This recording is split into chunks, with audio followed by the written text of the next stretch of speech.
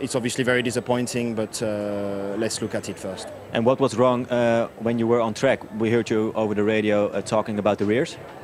Yeah, uh, I, I basically had zero rear grip. It was extremely oversteery and extremely unpredictable. It's not like it was an oversteery balance. It's just like the car was okay and suddenly it will snap completely away. So uh, again, we'll, we'll check.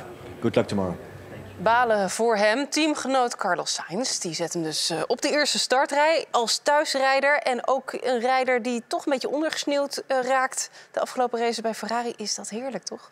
Ja, en hij deed het gewoon niet goed. Hè. Zeker in het begin van het seizoen. Vorig seizoen viel hij ook tegen. We hadden allemaal gedacht dat hij nu wel een keer zou komen. Dus ja, op zijn eigen thuis Grand Prix, wat wil je nou nog meer? Een mooie resultaat kan je niet halen, toch? Ja, is die extra energie die je altijd krijgt bij een thuisrace. Weet je, dat is net